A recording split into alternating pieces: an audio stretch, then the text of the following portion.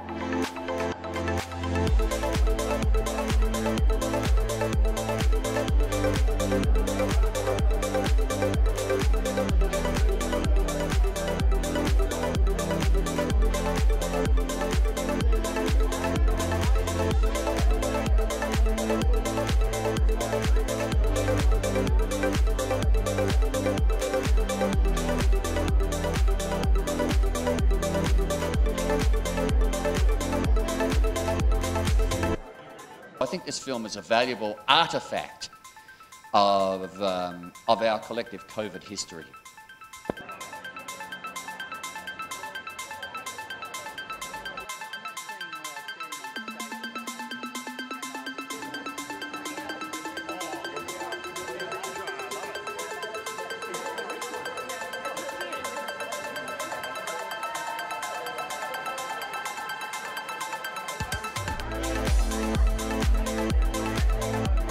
James, when he asked me um, how much of my life am I willing to put into this movie, I said, as much as you want me to.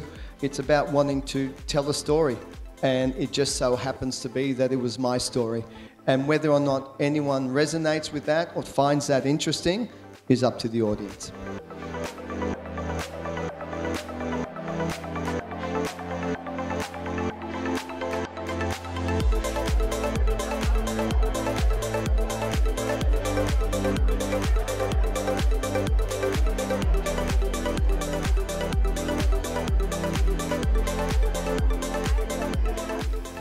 The cast and the crew in general, I feel like with this movie was a lot closer because there's, there's a lot less people involved. A lot of freedom um, with this movie, especially. I mean, like James gave us so much creative freedom over our characters, and like, yeah.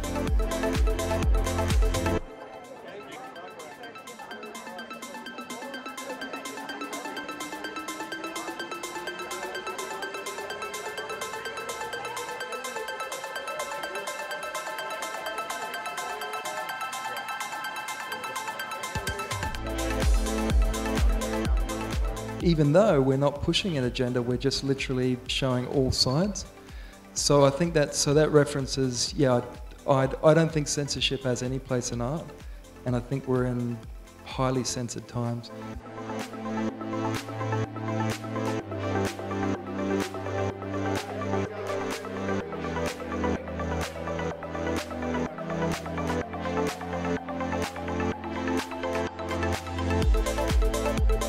Overcame uh, the difficulties and worked through the difficulties to create uh, advantages in having such a, a remote set and, uh, and created, I thought, strong and compelling characters with everybody.